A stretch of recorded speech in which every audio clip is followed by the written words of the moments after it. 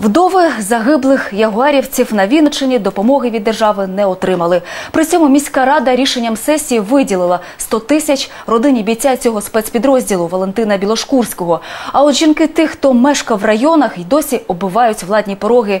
У районному бюджеті коштів на допомогу немає. Обласна рада сесії ще не скликала. Про обіцяні квартири та решту допомог від прем'єр-міністра ніхто й не говорить.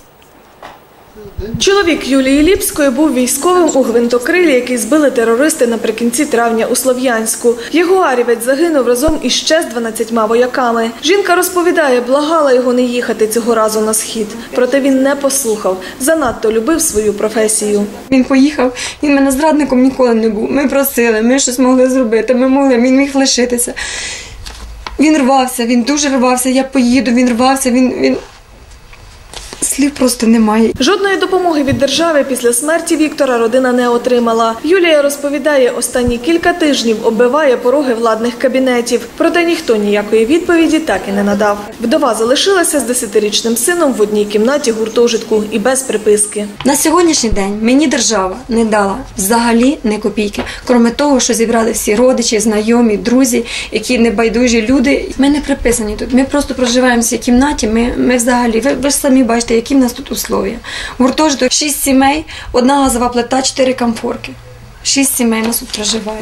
В Калинівській райдержадміністрації запевняють, все йде згідно процедури. Зустрічалися вони із командиром частини, приїздив представник Національної гвардії з Києва. Проте обіцяних 100 тисяч гривень виплатити жінці не можуть. Мовляв, в бюджеті таких коштів немає. Надіслали клопотання до обласної ради. Калинівська районна адміністрація е, згідно чинного законодавства не мають е, таких грошей. Ми маємо, ми направили клопотання, ми звірили всі списки на е, е, загиблих військовослужбовців нашого спецпідрозділу, направили їх на Вінницьку обласну державну адміністрацію, де зазначалося кіс- кількість членів сімей, е, родина, домашня адреса, місце прописки На бюджетній комісії депутати обласної ради підтримали пропозицію виділення 300 тисяч гривень родинам загиблих ягуарівців. Отримати ці кошти планують за рахунок зменшення резервного фонду. Тепер ці рекомендації надішлють голові ОДА, аби він врахував витрати при внесенні змін до бюджету. Коли ж саме вдови загиблих бійців отримують ці гроші, решту допомог і обіцяні прем'єр-міністром квартири, питання залишається відкритим. Ірина Дідух, телеканал Віта.